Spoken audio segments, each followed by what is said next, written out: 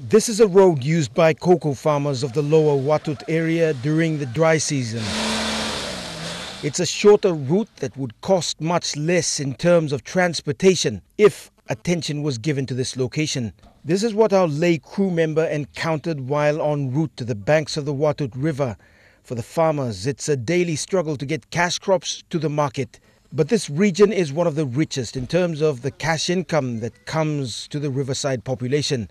Cocoa revenue going directly into the pockets of farmers and their families is about 1.2 million kina every year. Now yet them increase blow one me farmer all increase in cocoa garden blong all and by suruki go some um, 2 point something million kina and by every year by flow inside here.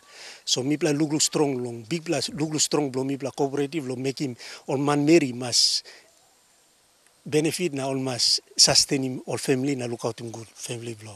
While the cash income is relatively large, the standard of living has seen minimal improvement. Infant and maternal mortality rates remain high, and this is largely due to transport difficulties and poor access to hospitals.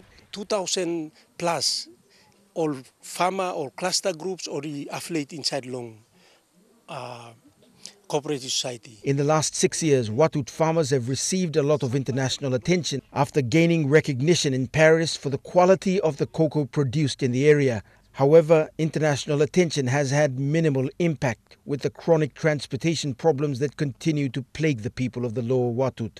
Scott Waide, National EMTV News, Lae.